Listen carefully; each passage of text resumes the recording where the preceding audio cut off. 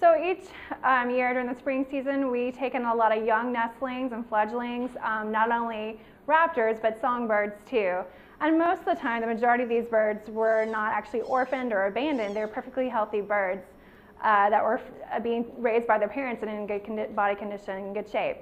And unfortunately, people, uh, when they see these birds on the ground, they don't see their parents, they mistake them for being abandoned or orphaned, so they bring them to us. But we try to discourage that because actually songbirds and owls and hawks are on the ground for like a month at least, if not more, learning how to hunt, how to fly, and things like that before they become completely independent of their parents. We bring a bird in, usually the vet school calls us. We have people drop them off at the vet school instead of coming directly to the center.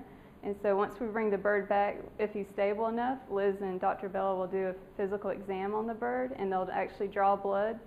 And usually either that day or the next day, they'll go ahead and take radiographs if they feel something's broken. And so they do a full physical workout on each and every bird that comes into the center. We take in roughly around um, 270, 250 to 275 a year. And right now I'd say we probably have like 60 birds, I think for a healthy bird, if everything checks out on the exam, um, sometimes we have what we call a raptor concussion. They just hit a window really hard and there's nothing really wrong with the bird. He just got knocked out for a little bit.